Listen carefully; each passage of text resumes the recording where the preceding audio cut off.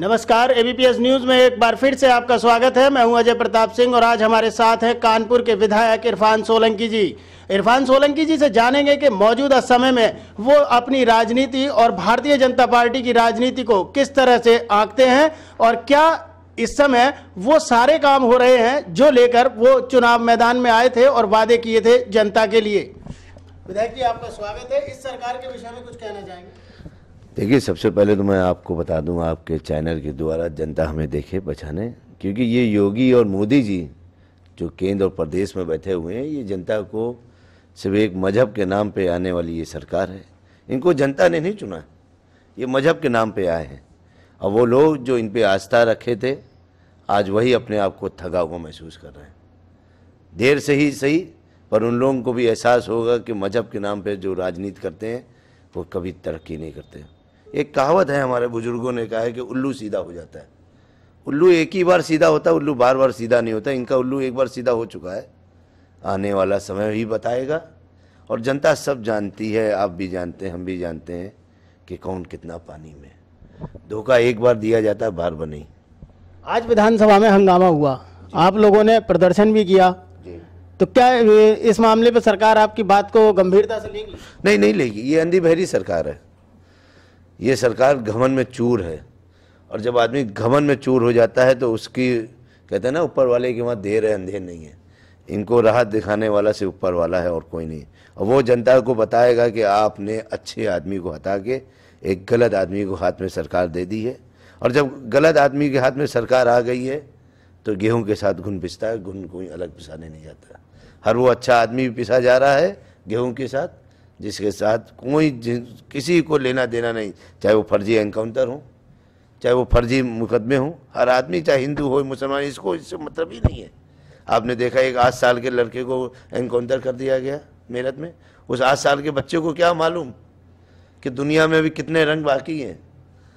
और आप लोग, खैर, हमें नहीं मालूम कि आप कितनी दूर जाएँगे, पर हमारा जो, जिसको कहा जाता है हिंदुस्तान का चौथा खंबा, जिसको आप पत्रकार कहे जाते हैं आप भी अच्छी भूमिका नहीं निभा रहे अब हमें नहीं मालूम कि आप किस बंधन में या किस मजबूरी के तहत बंधे हुए हैं कि जो भी पत्रकार ने अगर हकीकत भी दिखाना चाहिए या तो उसको अपनी नौकरी से हाथ धोना बैठा या बेचारा चैनल ही बंद हो गया। योगी जी के राज में सिर्फ़ एक ही चलेगा राम राम जपना मोदी मोदी कहना। अच्छा इस समय अस्पताल है तो डॉक्टर नहीं स्कूल है तो टीचर नहीं। इसकी मांग भी समाजवादी पार्टी सदन में उठाएगी? नहीं, आपको याद होगा जो इससे पहले शिक्षा मित्र वाले थे और आंगनवाड़ी वाले थे, उन सब की हम लोगों ने बहुत मदद करी थी। यानी हमारे कहने का मतलब अखिलेश यादव जी ने, अखिलेश यादव जी सीएम थे और उन्होंने बहुत मदद करी। एक कहावत है कि जो चीज़ आसानी से मिल जाती है तो उसकी कदर नहीं होती, और जो चीज़ संघर्ष करके मिलती है उसकी बहुत कदर होती है।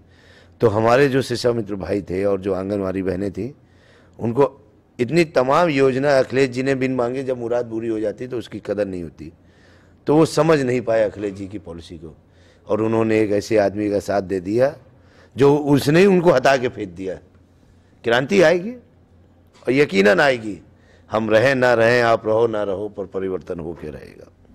अगर हम आपकी विधानसभा की बात करें शीशा मऊ की तो वहाँ पर इस समय इस सरकार से क्या लोग उम्मीदें लगाए बैठे हैं? और आप मानते हैं कि उनकी उम्मीदों पर सरकार खरा उतरेगी? देखिए मैं आपको बता दूँ मैं पिछले पंद्रह साल से विधायक हूँ। उससे पहले दस साल मेरे पिताजी पिताजी थे। तो मेरी विधानसभा में ये काम करें ना करें, अखिलेश जी ने इतना काम करा दिया कि उनके नाम पे आने वाले दो चुनाव में और जीत जाऊँगा। तो मैं गूँगे बहरों से कोई उम्मीद नहीं करता हूँ। मैं माँगता हूँ उसे ऊपर वाले से जो देता है सबको। एक बहुत अच्छी सी कहावत है कि मांगो उसी से, खुशी से और कहे ना किसी से। अपने आप उनके दिल में मोहब्बत पैदा होगी और काम हो जाएगा और नहीं भी होगा। तो जनता जानती है कि बहरे अंधे कोई काम नहीं कर सकते। और काम करना भी उसके ही पास है जिसको वो चाहता है। अगर वो चाह लेगा तो काम होगा और वो नहीं चाहेगा तो कुछ नहीं होगा। मुझे अपेक्षा नहीं इनसे। अच्छा जनता के लिए क्या संदेश देना चाहेंगे? अभी भी सवेरा है। वो बहुत अच्छी सी बात है कि जब जागो जब सवेरा। गलती इंसान से होती है क्योंकि हमें ऊपर वाले ने इंसान बनाया फरिश्ता नहीं बनाया। हमारे अंदर नफ्स है जिससे हम गलती कर बैठते हैं। पर गलती करके गलती मानने वाले को इंसान कहा जाता है। और गलती करके गलती करते रहने वाले को शैतान कहा जाता है। ये फैसला आप बेहतर जानते हैं कि हम इंसान हैं या शैतान हैं। तो ये थे कानपुर से विधायक इरफान सोलंकी जी। इन्होंने बताया कि सरकार कई जगह पर ऐसे काम नहीं कर पा रही है जिससे जनता को फ़ायदा मिल सके। अगर जनता को फ़ायदा देना ही चाहते हैं तो जनता से पूछकर ही या उसकी जरूरतों को महसूस करके ही सरकार आगे कदम बढ़ाए तो शायद इस प्रदेश का भला हो जाएगा। एबीपीएस न्यूज़ के लिए अजय प्रताप सिंह, लखनऊ।